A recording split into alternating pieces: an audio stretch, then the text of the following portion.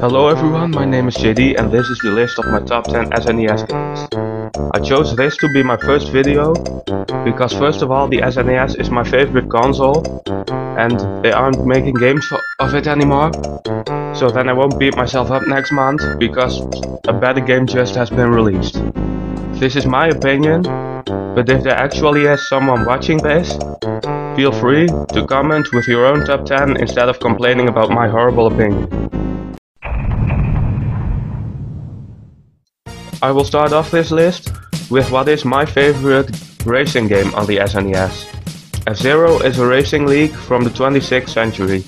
Even though these vehicles are extremely fast, I never have a problem handling them.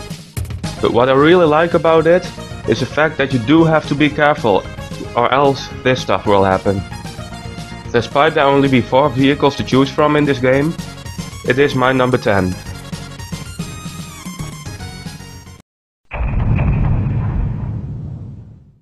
I'm not sure what it is about Killer Instinct that makes it stand out compared to other fighting games, but it just does.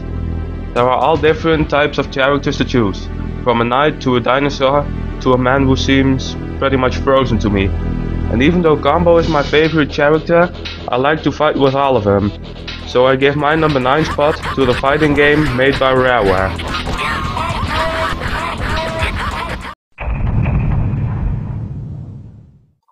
Yes, I am putting Super Mario World only on the 8th spot. Now don't get me wrong though, this is a great game with the overworld, the amazing levels and whatever it is you call these guys.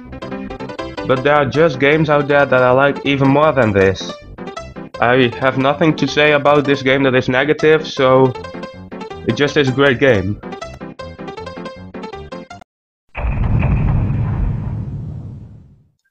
Axelay is a great scrolling shooter. The reason I prefer this over other scrolling shooters is that you can go both vertically and horizontally. But mostly you can move beyond the screen if you know what I mean. And the boss fights in this game are really great. So this is one of the best flying games I've ever played. And that's why I'm giving it my number 7 spot.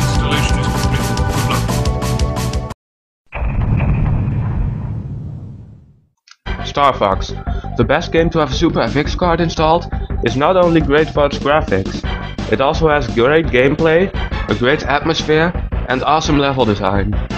There also is the possibility to get a first person view in some levels, which just feels great to me. Whether you are in Corneria or somewhere in space, this game is just as great anywhere.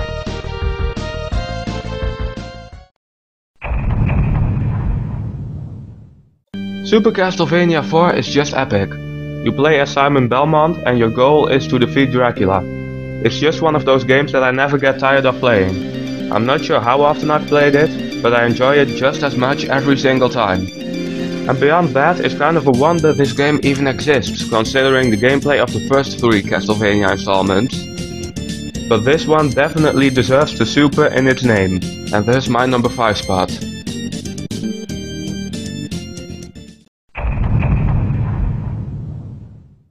The Donkey Kong Country series is just great, and the game I chose to put on my number 4 spot is Donkey Kong Country 2. The reason I chose this one is because it is the only one of the three in which both playable characters are awesome. Something about Donkey and Kiddy just doesn't seem right to me.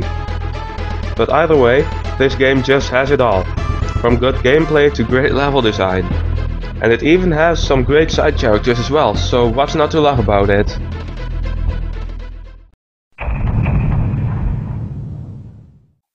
Super Ghouls and Ghosts, just wow. This is a game so good that even an anti-game protest group would love it.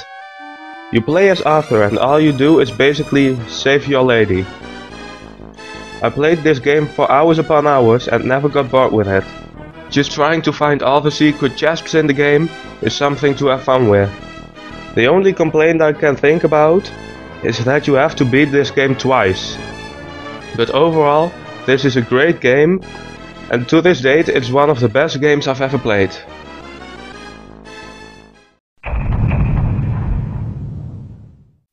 Now it's time for a game you've probably never heard of unless you know me personally, because then you would have heard me go on and on about it at some point in your life.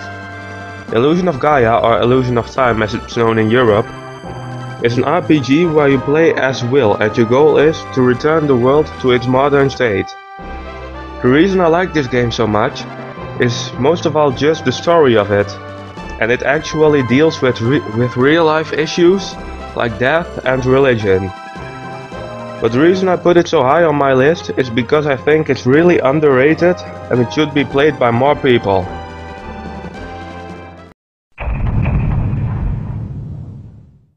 The Legend of Zelda series has some great games, and The Legend of Zelda A Link to the Past is no exception.